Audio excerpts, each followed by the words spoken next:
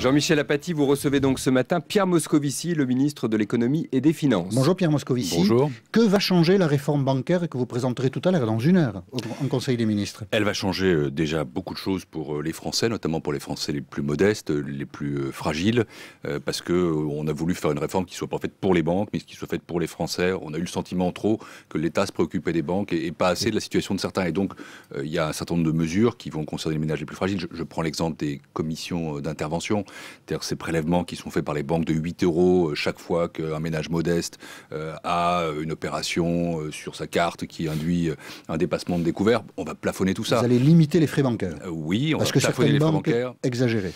Non, parce que ça représente euh, surtout pour euh, des, foyers modestes des centaines d'euros parfois alors qu'ils n'ont aucun revenu. On va aussi faciliter euh, l'efficacité des procédures de surendettement. On, va limiter les coûts de ce qu'on appelle l'assurance emprunteur que, nous sommes obligés de contracter quand nous faisons un crédit immobilier, que très souvent les Français contractent quand ils font des crédits à la consommation.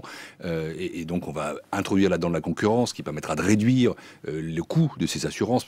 Ça, ça peut aller jusqu'à des économies considérables de l'ordre de 1500 ou 2000 euros par an pour des, pour des emprunts immobilier de l'ordre de 150 000 euros, on va améliorer le droit au compte. Donc, si vous voulez, il y a tout un aspect. Ça, ce sont des bonnes euh, nouvelles pour les, utilisateurs, les clients des banques. Oui, notamment les plus mmh. fragiles, notamment les plus modestes, parce que nous souhaitons que chacun dans ce pays ait droit au compte et qu'il n'y ait pas non plus des prélèvements indus euh, sur les plus modestes. Et puis, il y a une deuxième chose, mmh. euh, qui est l'aspect structurel de cette loi, qui matérialise un des engagements qui avait été pris par le candidat, François Hollande, on s'en souvient, mmh, qui était de séparer les activités spéculatives des banques des activités qui sont utiles à l'emploi et à l'investissement. C'était la formulation euh, de ces engagements. Et donc, on va créer euh, au sein des banques françaises, en gardant le modèle de banque universelle, des filiales dans lesquelles on cantonne, on isole les activités spéculatives, parce qu'il euh, s'agit de prévenir les crises, il s'agit de les anticiper, il s'agit de les empêcher, et il s'agit de faire en sorte de protéger les déposants. Moi, je ne veux pas, dans ce pays, qu'on spécule sur le dos des déposants. Et donc, s'il y a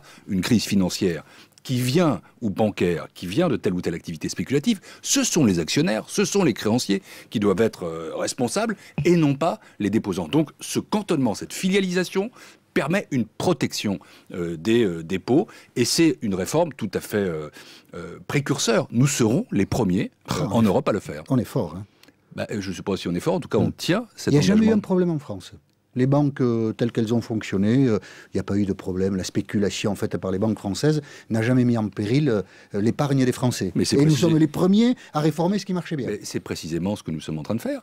en 2008, que s'est-il passé? Il s'est passé que l'État est venu au secours des banques sans contrepartie, pas sans condition, parce que peut-être elle pas, pas parce qu'elles avaient trop, Mais trop spéculé. Si les risques dans les banques, souvenons-nous de les crises de subprimes, par exemple, venaient de risques excessifs ah qui avaient été pris je, parle, moi, de la prévention de ce type de crise. Et donc, ce que nous faisons, c'est que nous, nous créons au sein de la banque, euh, qui va rester une banque universelle, euh, une filiale.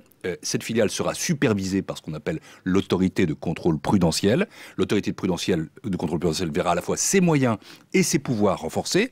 Elle aura aussi la capacité de donner des injonctions aux banques, de leur dire il faut faire davantage de réformes structurelles ou modifier tel ou tel compartiment. J'ajoute que nous allons aussi supprimer un certain nombre de produits spéculatifs qui sont faits par les banques pour leur compte propre et qui ne servent à rien. Je pense à ce qu'on appelle le trading à haute fréquence, des euh, opérations purement informatiques, ou bien la spéculation sur les matières premières agricoles. Et je suis ouvert euh, à des amendements. Je, me suis euh, évidemment rapproché des groupes de la majorité pour qu'on puisse faire évoluer ce texte. D'accord. Donc pour le détail du texte, et notamment pour tout ce qui concerne la partie euh, utilisateur des banques, on, renvoie les auditeurs d'RTL euh, sur le site d'RTL.fr et qui détaillera dans la matinée le projet de loi que vous présenterez en Conseil des ministres, Pierre Moscovici. Dans quelques minutes. On reparle de la réforme des retraites. Il paraît qu'il va manquer à peu près 20 milliards à l'horizon 2020. Y aura-t-il pendant le quinquennat c'est obligé une nouvelle réforme des retraites D'abord, revenons sur, euh, sur cette euh, donnée. Euh, le COR, le Comité d'orientation des retraites, a rendu un rapport hier qui établit, hélas, que comme nous l'avions dit quand nous étions dans l'opposition... Et puis il y a le chômage, il y a la crise... Absolument, mais la réforme Fillon n'était pas une réforme financée. Donc il manquera en 2020 à nouveau 17, je crois, milliards d'euros. Et ce qui veut dire qu'il faudra examiner ce sujet.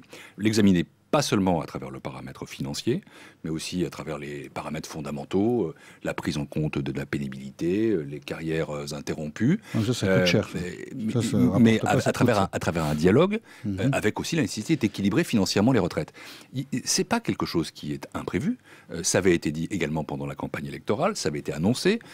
Il y aura d'ici à, je crois, la mi-2013, je ne suis pas le ministre chargé de ça, hein, je sais, il y aura une concertation et puis ensuite On va retoucher à l'âge du départ à la retraite. Il faudra, on est obligé de faire ça. Écoutez, encore une fois, moi je ne suis pas le ministre chargé des retraites. Évidemment, j'y suis attentif parce que je suis ministre de l'économie et des finances, fait partie des grands équilibres financiers de la France. Mais, mais je ferai quand même une observation. Euh, c'est que nous avons commencé ce quinquennat, non pas en, en allongeant l'âge de départ en retraite, mais en faisant en sorte que ceux qui avaient commencé à travailler tôt et qui avaient cotisé longtemps, euh, que cela puisse partir euh, à la retraite à 60 ans à taux plein.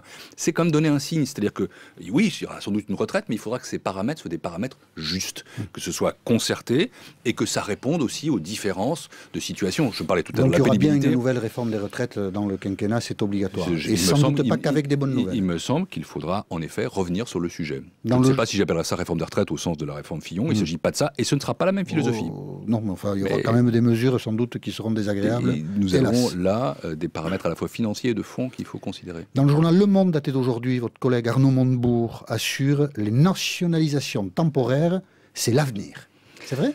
Oh, écoutez, euh, je, je vais vous donner mon sentiment. Euh, D'abord, Sincèrement euh, d'abord, première chose, Ouais. euh, je veux tout de suite couper la tête à un canard.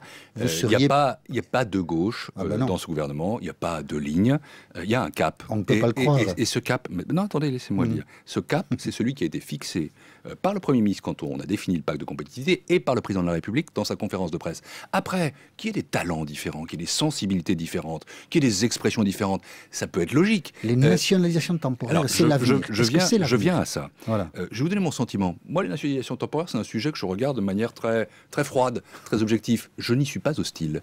Je pense que dans certains cas de figure, quand vous avez des intérêts stratégiques nationaux qui sont en, en cause. Les chantiers vous- de l'Atlantique, quand- par quand- exemple. quand vous, eh, je rappelle que dans le chantier de l'Atlantique, l'État est déjà actionnaire à Ouais. 33%.